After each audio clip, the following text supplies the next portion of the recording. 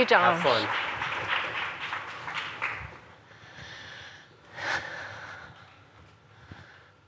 Someone's got the clicker. You have the clicker, I think, do you? Thank you. So, hi everyone. I have the pleasure of welcoming five phenomenal people to speak in this session. Uh, these are all conservation leaders in their own right and they have influence on ecosystems and habitats on the ground to providing leading, leading scientific analysis used in the policy landscape. So make note of your questions as we go through. We'll go through speaker by speaker, and we'll have time, hopefully, for Q&A at the end. So first up, we have Calum Maney from the UN Environment Program World Conservation Monitoring Center. Welcome, Calum.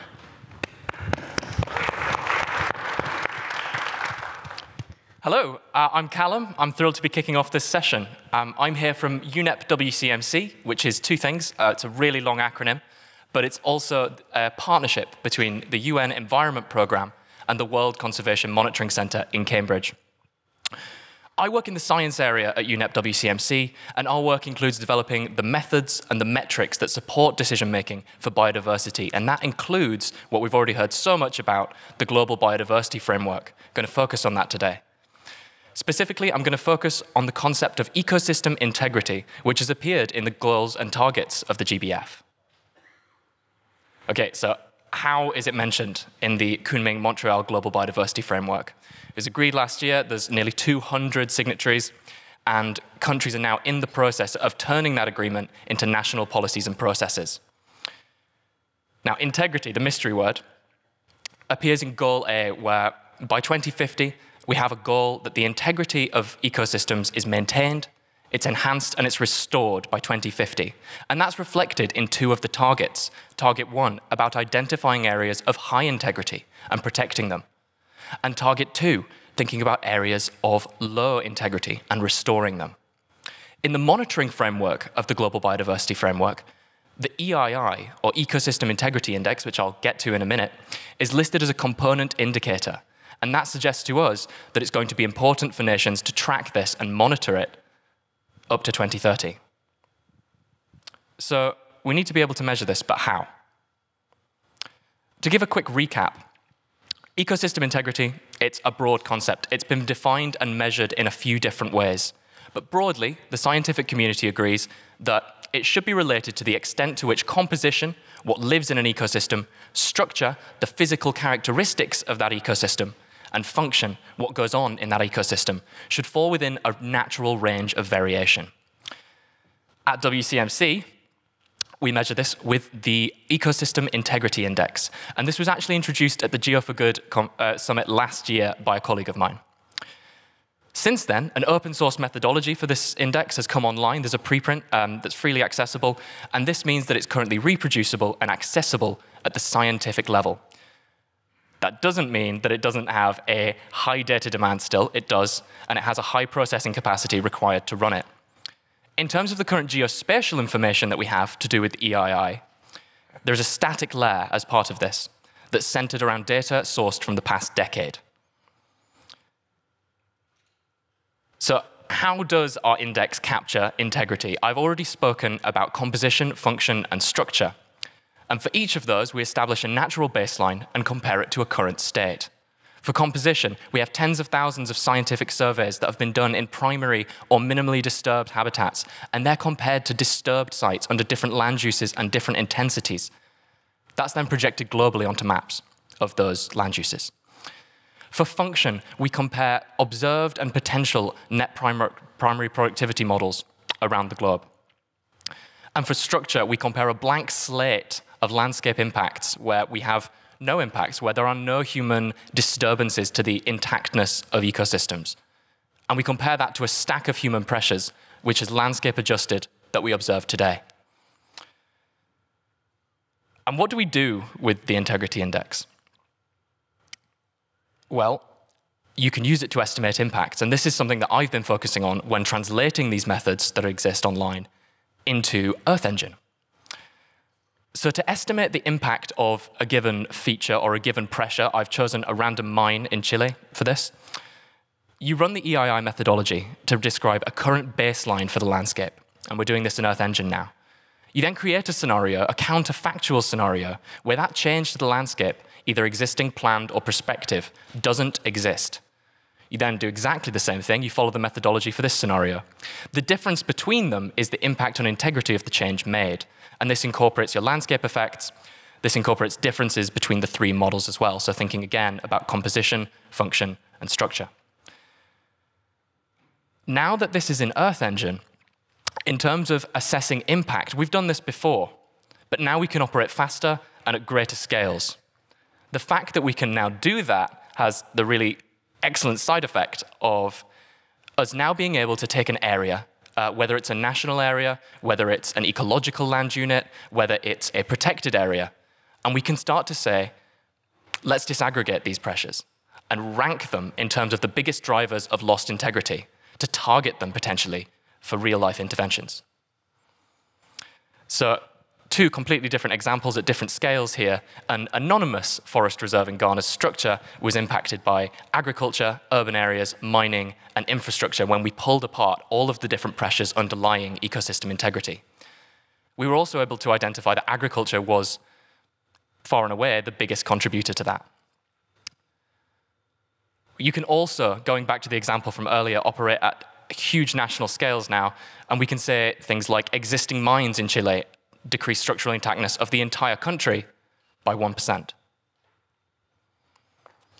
So that's the current state of things for integrity. Um, but we have sort of a wish list that we've brought here of everything that we'd like to do to really get fit to monitor integrity for the global biodiversity framework. The first thing is to calculate EII with actors data in Earth Engine. So develop a framework or an interface to estimate EII and impacts on it using actors data run simply on Earth Engine, whether at the level of a protected area, a community area, or even a national area, where you substitute the global LES in only where better, more local data isn't available.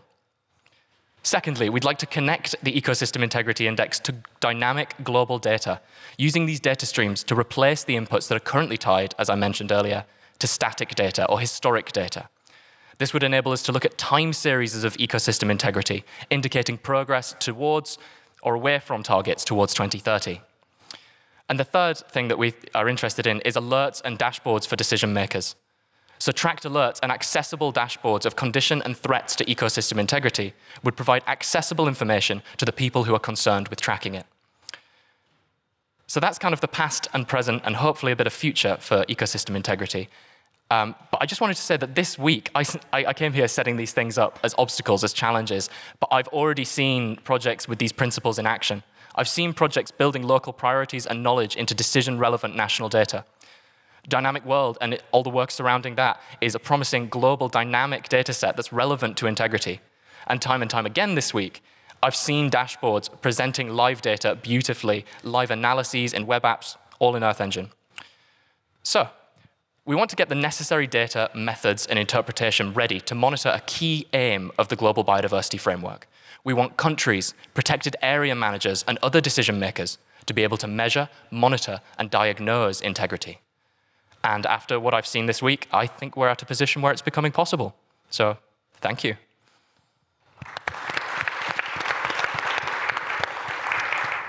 Thank you so much, Calum. And now we get to welcome up Justin Suraci from Conservation Science Partners.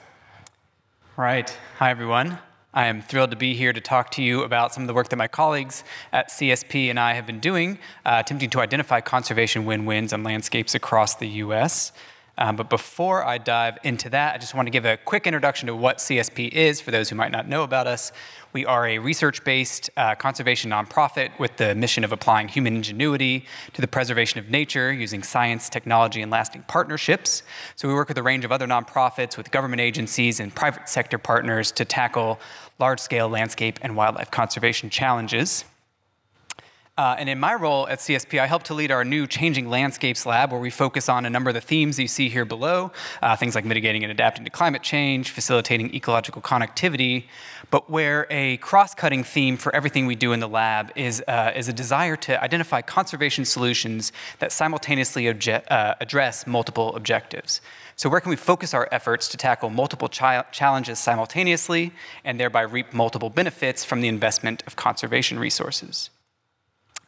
And to put a finer point on this idea of balancing multiple objectives, I'm going to uh, talk through two examples today where we've tried to address uh, two challenges that have many interacting components. So the first is uh, the dual crises of climate change and biodiversity loss that we're all very much painfully aware of, but that have helped to galvanize efforts to expand protected areas both nationally and across the globe, including through a range of 30 by 30 initiatives, relevant to this meeting, obviously. Uh, but the key challenge remains of identifying which landscapes we should target for new protections that will simultaneously address both crises, right? It could be the case that the best acres on a landscape for uh, mitigating climate change are not necessarily the best for protecting species habitat, et cetera. So where do we find those win-wins? Um, I'm also going to throw in a quick uh, related example um, about proactively mitigating wildfire risk through treatments that reduce the likelihood of high severity fires. Uh, this is another important goal in a changing climate, uh, but in order to do so effectively, we need to account for climate risks, for ecosystem processes, and most importantly, perhaps for the human communities that are likely to be impacted by fires. So the challenge here, again, is where to target our fire mitigation efforts to achieve these multiple benefits. Okay, so I'll talk to you about a couple of uh, custom decision support tools that we've developed uh, that are meant to, again, aid conservation on US lands. The first is the Climate Atlas, again, targeting new protections to jointly address both climate change and biodiversity loss. And the second is focused on uh, wildfire mitigation on US Forest Service lands, again, balancing these multiple objectives and our risk reduction treatments. I don't really have time to get too deep into the methods today, but would love to chat with anybody after, afterwards about this. But uh, in essence, both of these approaches uh, rely on either developing in-house or compiling high-quality, um, large-scale spatial data layers that are indicators for key ecological, environmental, and social uh, factors. So these could be things like uh, layers describing ecological connectivity or endangered species richness, or uh, social factors such as the vulnerability of communities to, to disasters. We combine all these data layers into what we call composite indices, essentially adding everything up and producing a heat map that allows managers and policymakers to zoom in on just those locations that are going to satisfy multiple objectives simultaneously. We use a relatively new optimized weights approach to ensure that each of these values gets equal representation in the, in the indicators or the maps that we produce. Um, and just as a note, uh, all of this work relies very heavily on Earth Engine tools and data sets and compute power, so obviously, thank you to the Google people for that. All right, so the Climate Atlas, again, it's uh, focused on informing 30 by 30 and really any other conservation objective to meet biodiversity and, and climate goals. And the way that we approach this is by developing a series of these composite index models, these, these heat maps. Uh, one focusing specifically on the best places on the landscape to mitigate climate change, another focusing specifically on biodiversity, and then a third that draws all these things together to find out where these uh, conservation win-wins occur across the landscape. And then we can identify high value, currently unprotected protected lands across the US that are targets for new conservation. Um, we have a quick video that we'll go to now, hopefully, uh, to, to preview what this looks like. So this is the Climate Atlas. Uh, it's, uh, we've got, as I mentioned, multiple data layers included here relevant to climate change, like total carbon, uh, re relevant to biodiversity, like imperiled species richness and ecological connectivity.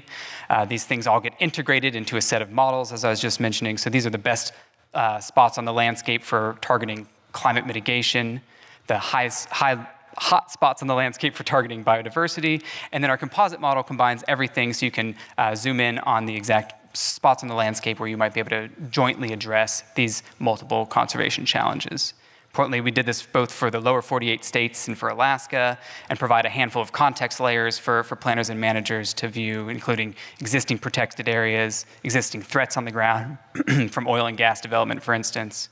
And then to try to make these uh, results as actionable as possible, we focus specifically on currently unprotected public lands on the US Forest Service and BLM domain.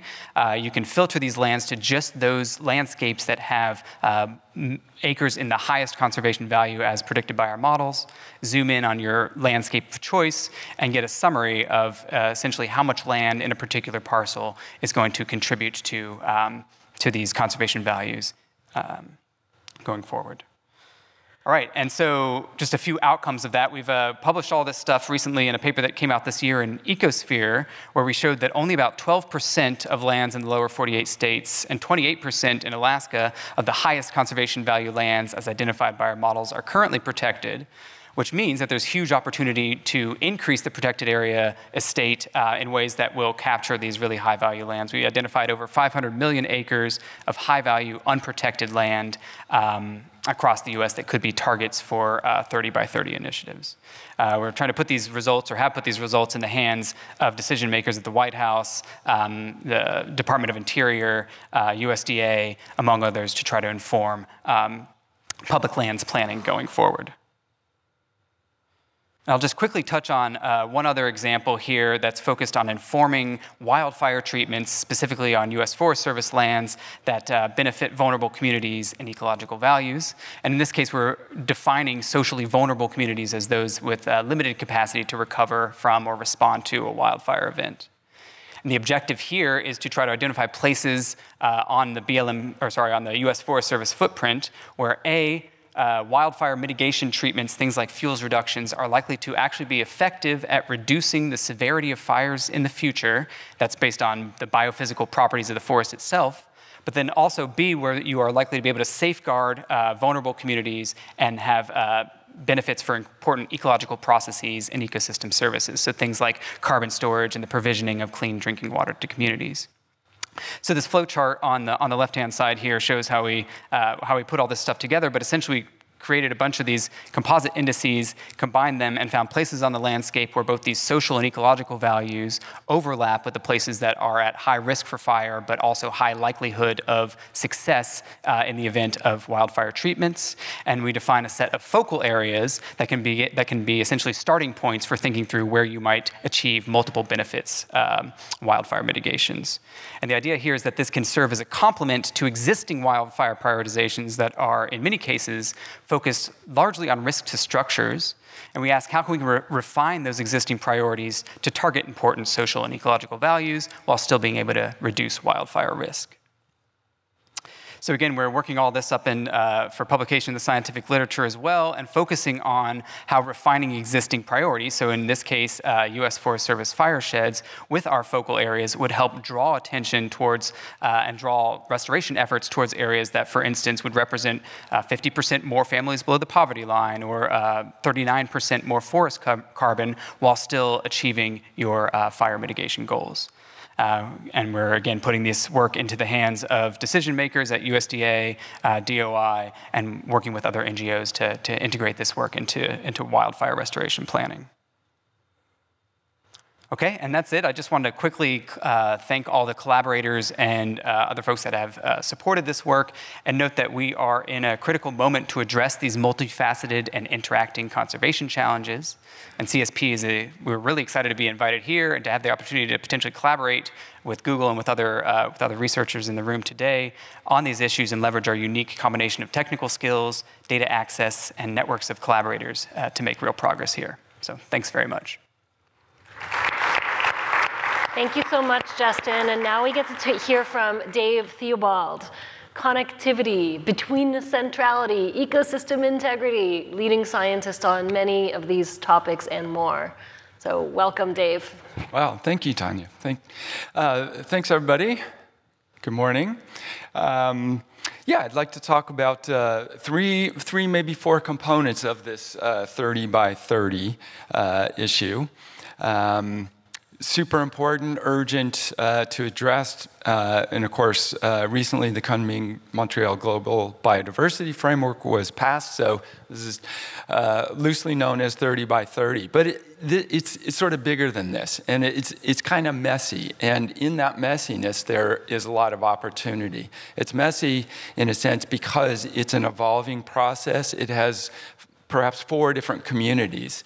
Uh, the science community, the practitioner, uh, the technology community, uh, roughly, you know, folks here uh, as well, um, the policy community, and then also, you know, the communities on the ground who are who are affected. So all those come together uh, in what we're all trying to address here. So, um, as was talked about before, so I'll go uh, reasonably quickly. Uh, goal A is about ecosystem integrity.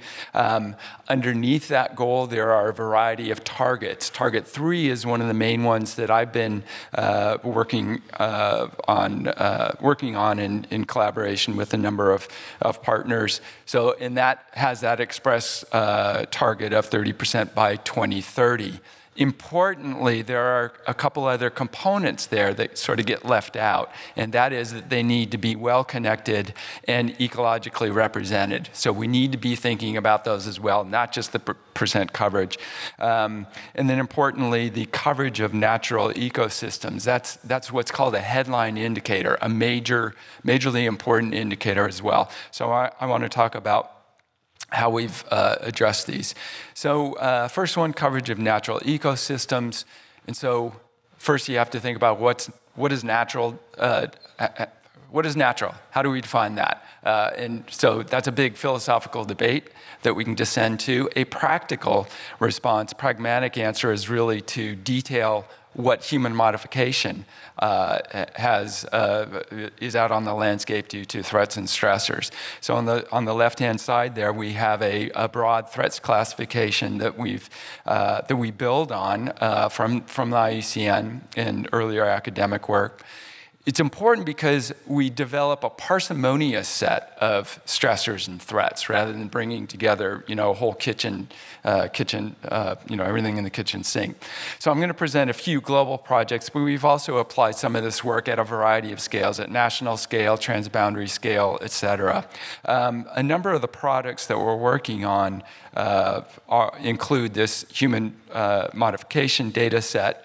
Um, existing uh, versions are already in the data catalog. They're also in the awesome uh, catalog uh, as well. Um, we're currently working on and will be releasing um, uh, trends data set from 1990 to 20, uh, 2022. A current one, we'll be updating those on an annual basis. Resolution is about 300 meters. We're, we're uh, also looking at finer resolution as well. We're also providing not just the overall measure, but also uh, individual threats. So agricultural, built up, uh, extractive, human intrusion, human accessibility, uh, natural systems, and then also transportation uh, in infrastructure. A couple papers that describe a lot of the, the details. The details are important.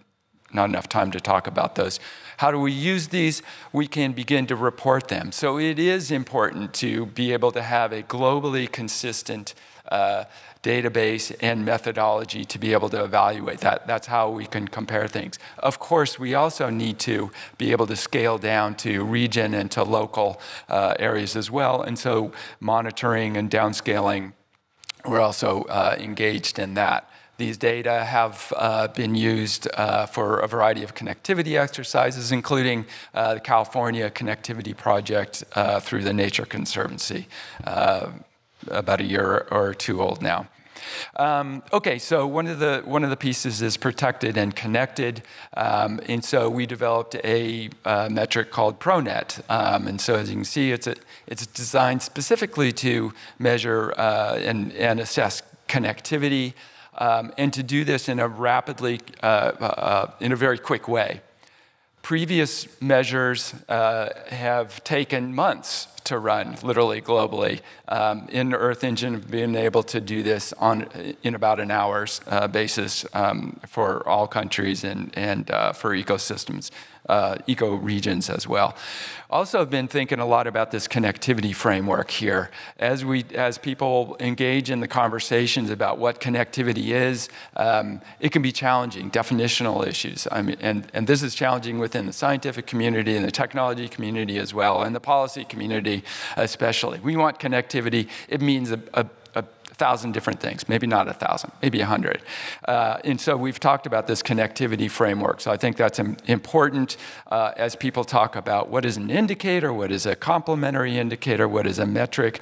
There, there are some definitions here that you can see um, how, how we've been doing it. Uh, this this methodology, ProNet, we published that uh, recently last year, um, and uh, this has also been um, approved in the, uh, in the GBF uh, recently as well, so ProNet as an indicator. What do the outputs look like? Here's an example of a graph of countries. So what's the percent protected on the x-axis and the percent connected on the y-axis. So you can very quickly, I think very easily, uh, understand where different uh, countries are located on there. Um, hopefully I put a little label on there where, uh, of course, as you can inspect this and you can imagine this up on a dashboard, you'd be able to understand these things, uh, where different countries are. Importantly, that provides context. So if I'm going to add a, an additional protected area, is it going to contribute uh, to the percent connected as well, if we want to uh, simultaneously achieve that. And so we've run some, uh, some um, preliminary analyses of, uh, you know, the, the percentage of uh, um, connected uh, countries is about 38% uh, connected uh, within uh, protected areas within a country, of course.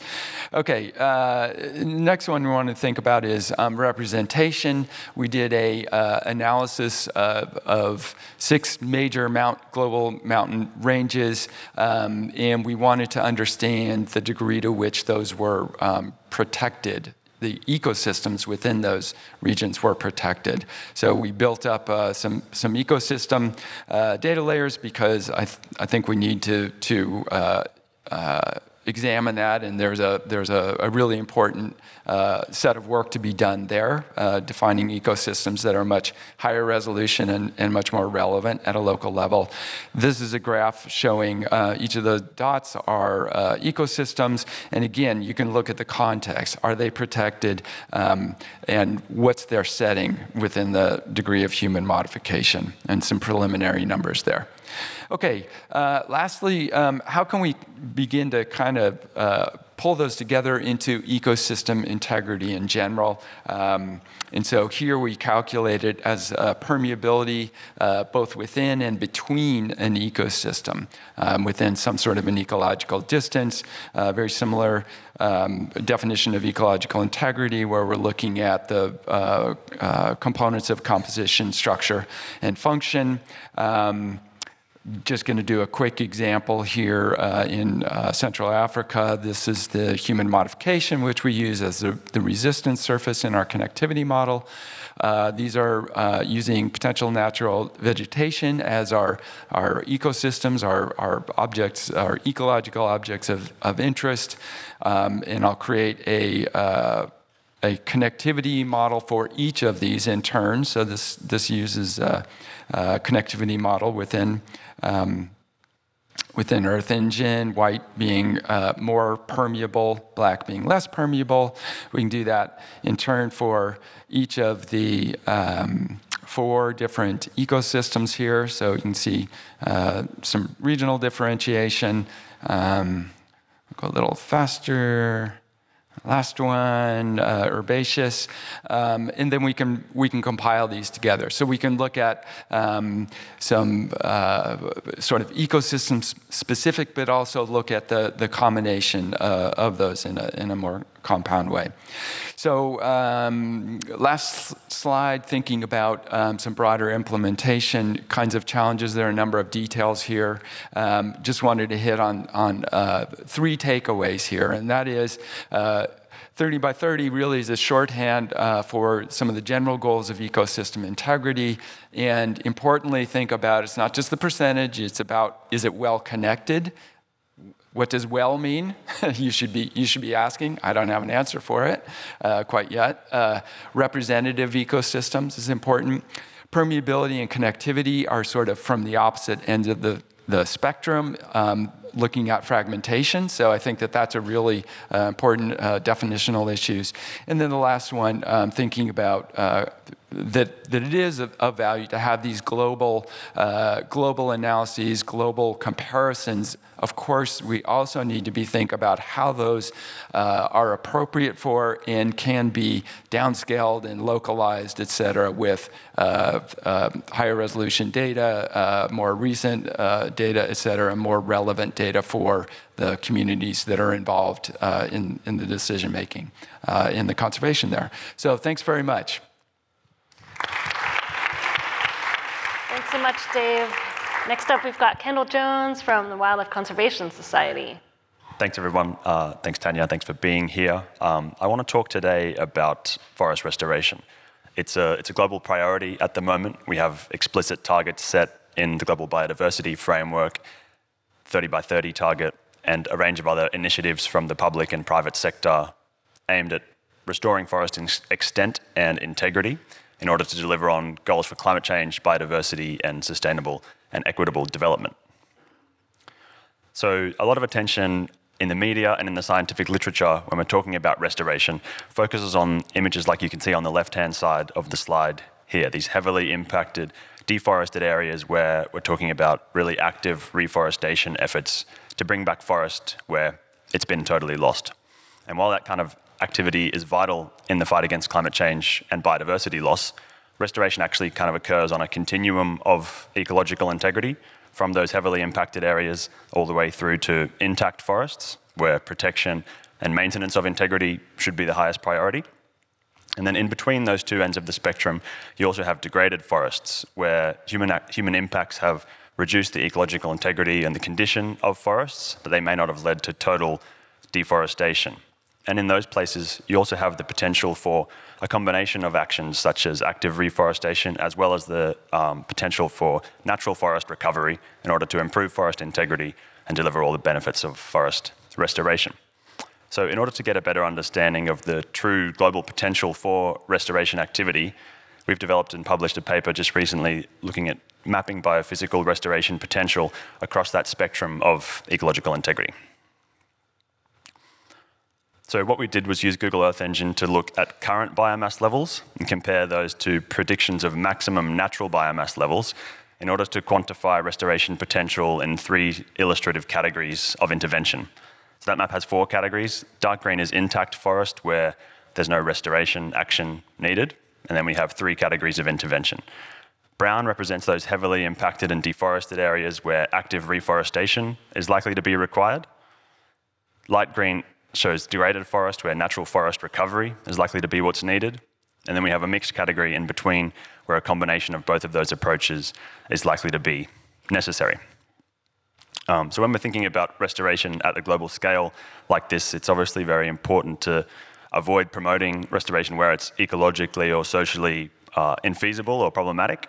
So what we've done to try and avoid those things is we've excluded grasslands and uh, sparsely wooded savannas where we don't want to promote afforestation that might negatively impact those ecosystems. We've also removed urban areas, oil palm, forest plantations, areas that are kind of infeasible for restoration. And we've also removed areas that are uh, might be climatically counterproductive if we do restoration because it can change albedo and reduce the amount of uh, reflection that leads to warming. So what we found after we did all that, we removed all those unsuitable areas, is that there's a huge amount of degraded forest that has the potential for restoration activities. In fact, over 40% of the total potential area that could be restored falls into that category of degraded forest that has the potential to have its integrity restored and improved. And that's really important because not only does that sort of unlock a new potential area for restoration to go alongside the traditional methods of, of kind of active reforestation where forest has been totally lost. It's also important because degraded forests have the potential to deliver gains for climate and biodiversity more rapidly in many cases than totally deforested areas. That's because they retain some of the structure, the ecological processes, and the species that you find in intact forests. They can also have lower conflict for land use and lower opportunity costs because you're working in places that haven't been totally converted to anthropogenic land uses. So beyond just kind of quantifying how much potential there is for restoration across the globe, we at the Wildlife Conservation Society wanted to sort of work out where would be the highest priority places for us to focus our, our restoration efforts. So we developed a simple priority setting approach based on four key considerations. We looked at the proximity to existing intact forests. Um, prioritizing those places is good because having intact forests nearby is something that increases the chances that your restoration is actually going to succeed ecologically.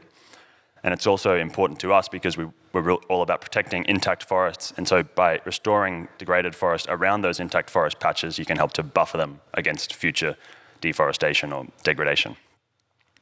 We prioritize working in protected areas and key biodiversity areas where we can.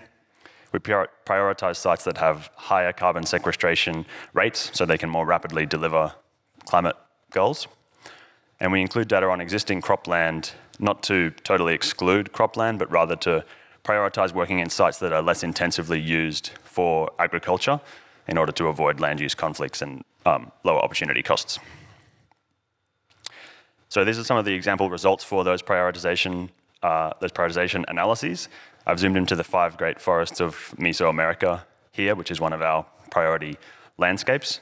And I've separated the results out into those three illustrative categories of intervention that we talked about before. So you have reforestation, where land's been severely impacted and deforested in map A.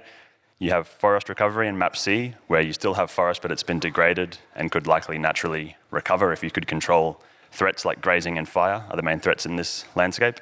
And then you have that mixed category in between in map B, which is likely to require a combination of approaches. So by thinking about restoration in this way, it's kind of unique because it's not only giving you information on the, the highest priority locations that you might want to explore for restoration projects, which are shown in the, the darker colors on these maps, but it's also telling you about what kinds of intervention might be required to achieve that restoration and, those, and deliver on those climate and biodiversity goals. So we're currently working with our country teams in this region to refine the analysis at a local scale um, and plan our future restoration activities. And when we're thinking about sort of downscaling the results of a global analysis like this, it's important to think about not just using the results as is, but rather to take this as kind of a flexible framework or a way that you can think about planning restoration activities and to incorporate local scale data, local contextual information wherever you can. Um, that helps to really make sure that your planning is relevant to the, the place or the situation that you're working with. So for example, in Guatemala, we're looking at incorporating data on fire severity and burn frequency, because that's a really important driver of forest degradation in the region. Uh, to that end, we've also developed a Google Earth Engine web app, um, which is kind of embarrassingly simple compared to all the, the fun, cool stuff that I've been seeing this, this week. But um, it's been powerful for us because it gives real-time visualization of the results and allows people to tweak what indicators are included and how they're weighted. And then they can kind of see by panning around to the region that they know what's driving the results in their region and how the results look like for places that they're interested in. So despite being simple, it's been really useful and powerful for us. Finally, when you're promoting restoration or thinking about restoration projects, we always want to make sure that we're thinking about local considerations and avoiding promoting or calling for restoration in ways that might be impacting local people. So thinking about things like land tenure, land use history, um, the willingness of landowners to engage in restoration, the opportunity costs that they might uh, be impacted by if they're engaged in restoration. Those are all kinds of important considerations to make sure that you're thinking about when you're working at the, at the regional or the local scale. And finally, WCS isn't just working alone on this. We're part of a partnership called Trillion Trees with WWF and BirdLife International really aiming to speed up and scale up action on forest restoration across the world. We've developed the Reforest Fund, which basically gives funders access to a proven portfolio of robust restoration products, projects, which are also all aiming to deliver on biodiversity, climate, and sustainable development goals. And to go along with that, we have ForMap, which is a Google Earth-based restoration monitoring tool that people use on their phone out in the field and that delivers credible, transparent impact verification for all of the projects in the Reforest Fund. So if you're interested in learning more about that partnership, whether as a restoration practitioner, as a funder who's looking to get access to good restoration projects, um, I'd be happy to discuss anytime today, or you can find all of my contact details up there and check out the app on the QR code. Thanks very much. Awesome. Thank you, Kendall. And now we have a little bit of a pivot for Elise Mazur from WRI, World Resources Institute, who um, is going to tell us a little bit about uh, the, you know, how corporations also have a role to play in 30 by 30 through the Science-Based Targets Network, and maybe a little TNFD in there, Task Force for Nature-Related Financial Disclosures, but mostly uh, natural lands map. Over to you, Elise. Thanks, Tanya. Um, yeah, I'm Elise. I work on Land and Carbon Lab at the World Resources Institute. And we've heard some, some great work about forests and, and other lands, um, but I want to yeah, think beyond forests and go uh, to corporate targets for all nature. So there are a lot of um, efforts and legislation like the EU deforestation regulation that are holding corporations accountable for avoiding deforestation in their supply chains. Um, but in order to achieve the 30 by 30 goals, we need to protect lands outside of forests as well globally. So um, that brings us to the Science Based Targets Network, which is a voluntary corporate target setting guidance for nature. You may have heard of SBTI, which is target uh, guidance for reducing emissions, but SBTN is for uh, protecting nature. So there are targets currently on freshwater and land. We're going to talk about one of the land targets, but um, the others are all are out there for you to find. Um, so the target that we'll talk about today is target number one, no conversion of natural ecosystems, um, where we want corporations to stop direct and indirect conversion of all natural ecosystems to non-natural ecosystems uh, in their supply chains. Um, I'll briefly mention the other two, which are uh, land footprint reduction for large agricultural corporations, um, and then landscape engagement, where we encourage all the companies working on any of these targets to engage locally with initiatives um, that are enabling improvements to nature and livelihoods uh, where they're producing or sourcing their products from. Okay, so to focus on this first one, no conversion of natural ecosystems, the goal is to get corporations to reach 100% compliance of conversion-free and deforestation-free requirements by a target date like 2025 or 2027. Um, and so this means that everything they're producing or sourcing um, has to come from land that has not been converted since 2020 in a few cases, it's earlier, but most of it is for 2020. So in order to do that, we need to know where uh, was quote unquote natural and where and if it's been converted or not. So they came to, so uh, SBTN came to WRI um, and asked, okay, we need to figure out what this means and where this is. So that begs the question, as we've already started exploring, what is natural? Um, so uh, for SBTN, we've adopted definitions from the accountability framework, and we've uh, uh, started working with those to kind of map them and, and make them mappable. Um, so here they define a natural ecosystem as one that substantially resembles what would be found in a given area in the absence of major human impacts. Um, and again, what a human impact is is debatable, but we uh, just want to point out here that this means for our use case that it can include and does include managed ecosystems as well as degraded ecosystems. Um, I also want to point out that in the technical note, which you'll find a link to on the next slide, um, we have a full detailed definition of what we mean for each land cover that we map. And we also have a new workstream uh, with the Accountability Framework Initiative to uh, make these definitions more mappable and flesh them out for non-forest uh, ecosystems because they're uh, a bit vague at the moment, and I'm really excited to work with everyone up here to, to improve the definitions. Okay, so um, for this, we created this map of natural lands. Um, this is a beta version. Uh, we're gonna come out with the first official version next year. Um, but you can see it's just a binary of natural and non-natural. Um, we call this lands because we're not mapping ecosystem, we're, ecosystems, we're mapping land cover. And since we're land cover people, behind this you can actually find all the land covers. Um, so all the data are there. Um, and there is a, there's a QR code for this. Um, I also have it on the last slide if you can't catch it now. But you may be wondering, okay, how do companies use this uh, for their targets? So uh, companies need to find supplementary data that show that there's been land cover change uh, where they're producing or sourcing their data, uh, their products from. Um, and then once they have that supplementary data, which could be imagery, could be land cover change data, tree cover loss data, whatever, um, then they look at this map and they say, okay, in the area that there was land cover change, was it natural before or in 2020? So um, SBTN also wanted to prioritize some land, and so they created this core natural lands class, which takes into account a bunch of different data sets that you can see here, like critical natural assets, minimum land areas for conserving terrestrial biodiversity, irrecoverable carbon, soil biodiversity hotspots, um, threatened ecosystems, and the natural forest class, as well as some IUCN data. Um, to add this additional layer on, so in dark green here, you can see the core natural lands um, from far away, it kind of just looks like everywhere but deserts, but if you zoom in, there's some more detail and nuance there. Okay, so since we're at Geo4Good, I just wanted to quickly talk about how we made the map. Um, again, you can find this all in a technical note, but we combined a bunch of different land cover data sets and removed areas from some and added areas from others. Um, we used uh, GLAD land cover data from UMD. We also used some classes from ESA World Cover, um, EASA Mines, uh, additional cropland data, additional intact forest landscape data, uh, the spatial data of planted trees, and I'm sure many of you are wondering how we got to grasslands and natural grasslands and, or short vegetation. Um, currently, we are using the FAO gridded livestock of the world with a density threshold to say above this threshold is definitely non-natural grasslands or short vegetation.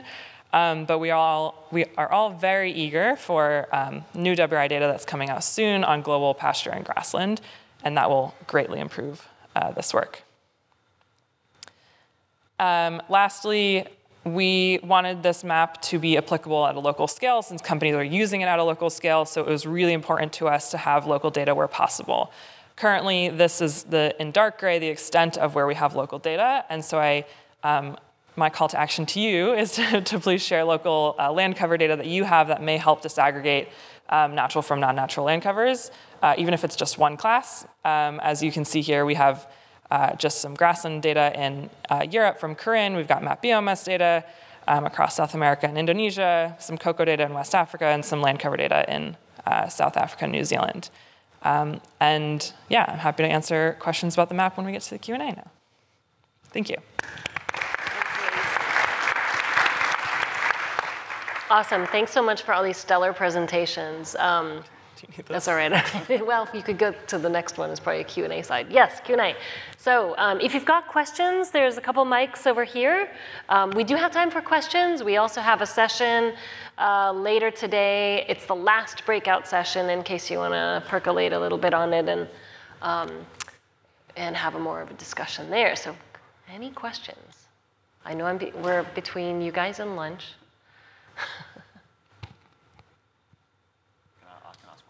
Oh, yeah, go for it. Yeah, go for it. Yeah, I've got a question. Well, maybe to everyone, I guess. It's mostly to Elise. Um, all these guys talked about these awesome integrity maps that they're making. Um, is there any scope for companies to use those data to supplement the natural, non-natural map that you presented to sort of better plan? If they do have to have an impact, it would be better to happen in a less a, a place with less integrity than in a really intact place.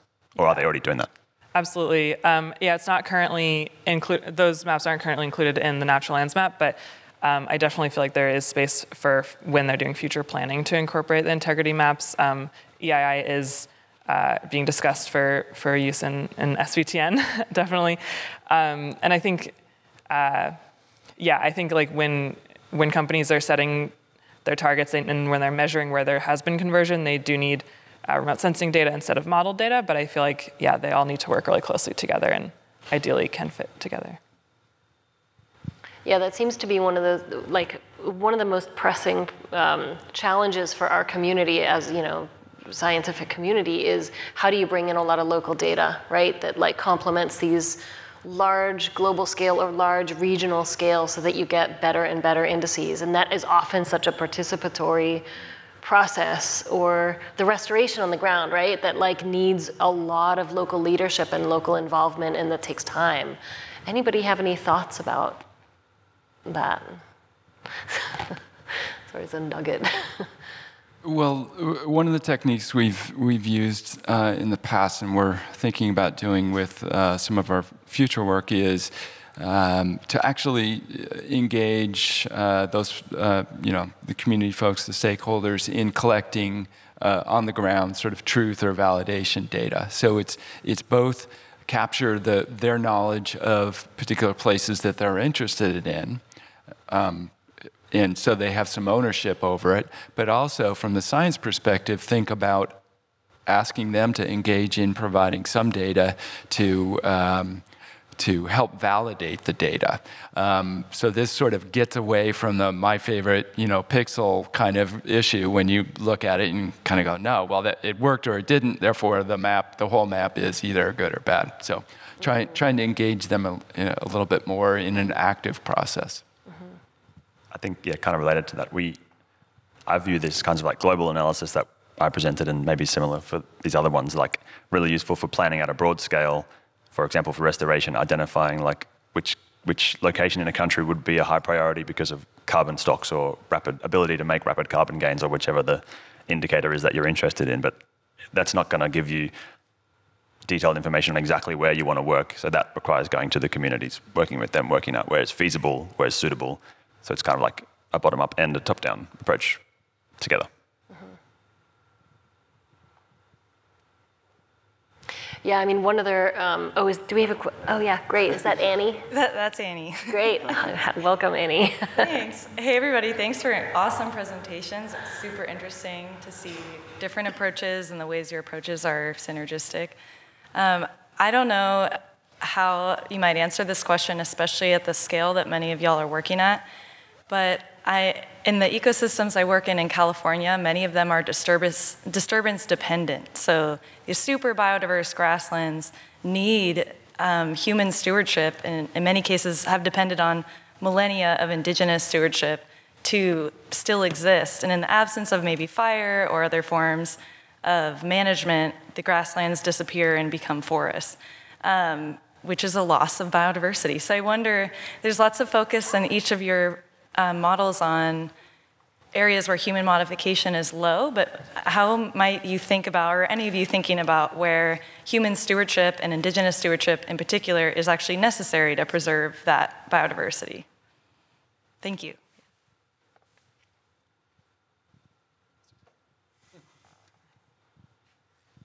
I mean, the simple answer for, for our work is that at that global scale, we don't take into that consideration those kinds of things because it, we don't really have a method to do so. I don't think, I would say that the definition that we work with for ecological integrity is completely okay to have that kind of like management that's occurring over a long time that's maintaining those processes. It's not, it's not exclusive of those kinds of processes. Um, so I don't think that it's conceptually a problem, but actually incorporating it into the analysis at this scale, at a global scale, I don't think we have figured out a good way to do that. So that would, I guess, it would come in at the at the local kind of scale.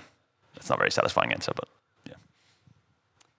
Yeah, and uh, some of the approaches that we've used to to measure essentially um, human modification, very similar to what uh, to what Dave's pioneered, focuses a lot on the built environment. So like urbanization, eh, put, putting in transportation infrastructure, energy infrastructure. So wouldn't necessarily, if we're using that type of layer to to discount areas in terms of their, their biodiversity or their conservation value wouldn't necessarily exclude um, on the ground and especially indigenous management, but I'll admit that our maps don't have a great way to incorporate the need for that management, the positive value that that brings. So that's a, that is a really important point to bring forward. Yeah, please. Hi, thank you so much for your talks. Um, so I'm curious, with all of the maps that we've seen, both on regional and global scales, how do you get your data and your maps, your apps in the, in the hands of the policymakers? And if and when you do, to what extent do they look at your methodology? Or do they more look at like the, the pretty picture that you display I could give that one a try too. That's a really great question. I mean, the way that we do it is just to like cold email and cold call a bunch of people and try to get meetings with policymakers makers and show off our, our apps and maps and try to tap networks to put it in the right people's hands. Uh, we've had some success um, uh, with these these tools getting integrated into to actual management, but I, I think it's a really tricky problem because we're hardly the only ones trying to do that. There's a bunch of other organizations that are trying to, to trying to in very genuine ways inform uh, policy and management and uh, some coordination across the conservation community would be great so that these policymakers aren't just getting inundated with a thousand tools that all sort of overlap. So important point. Yeah. Yeah great. Yeah let me build on that. Um, yeah absolutely. That's that's a bit of the the process that i alluded to earlier with in the IUCN and the GBF. So there's, you know, there there are forums. There's uh, there are right now there's an ad hoc uh, technical advisory group working through some of those kinds of issues. Um, I've had conversations about trying to provide some guidance documents. So there's a guidance document uh, that uh, Jodi Hilty led and, and others were involved in um, to try to explain some of those ideas. The degree to which um, uh, you know, these decision makers are, are making use of it based on a map or maybe understanding the methodology. I mean, we have to, we have, we, we have this idea of there, there's a decision maker out there. Well, the decision maker is part of this whole program and team, and they're relying on, oftentimes they have technical folks, you know, like us who are, you know, deep into the methodology. So, um, I mean, it's it's a process, and I think you know going down from the the global level, you know, there are country representatives, and um, in my mind, I think that there's a, a really interesting opportunity. A number of the big you know, the big countries, perhaps, you know, U.S. or Canada um, or Brazil, there's there's pretty sophisticated work already involved at that level, and then there's perhaps places where there's uh, you know very little data data or little capacity, and I think that that's a, a really nice niche that that perhaps uh, we can we can provide in a in a different fashion. So, thanks. Great question. Thank you. Do we want to go to this side of the room? Yeah, sure. Um, just a question on the scaling issue. Um, I wanted to know how is it, or what kind of thought do you put into making the indices uh, kind of flexible across scales and across contexts, and what might be the limitations of of the indices?